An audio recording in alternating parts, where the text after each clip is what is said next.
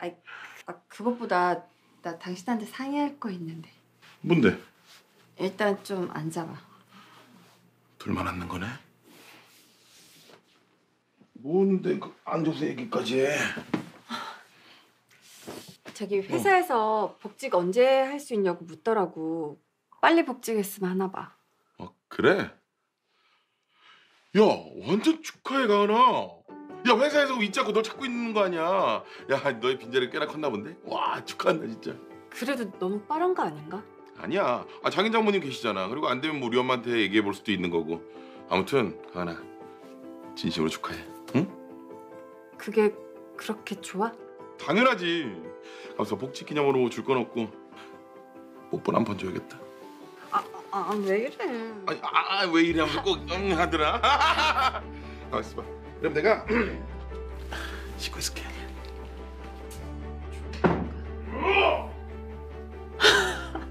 걱정과 달리 복직에 긍정적인 남편의 반응. 이에 아내의 복직 준비는 일사천리로 진행됐는데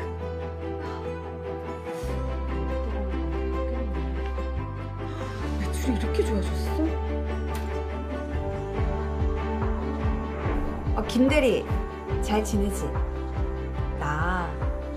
나곧 복지 간다. 좋지 좋지 좋지. 조금만 기다려. 내가 가서 노 팀장 확 잡아줄게.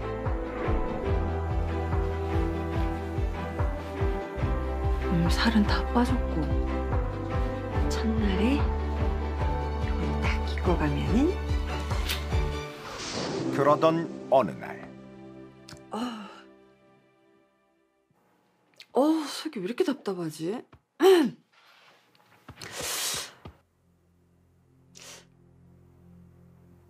그러고 보니까 생리할 때가 한참이 지난 것 같은. 아이 설마. 아유 아닐 거야 아닐 거야. 아나 복직도 해야 되는데.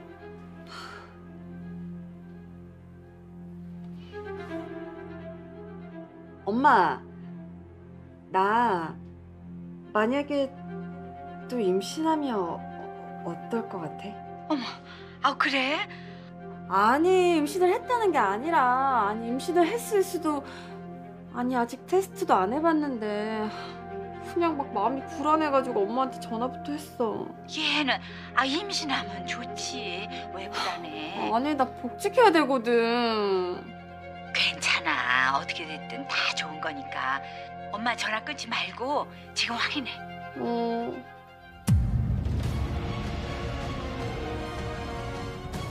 마땅히 기뻐해야 할 둘째의 임신 소식.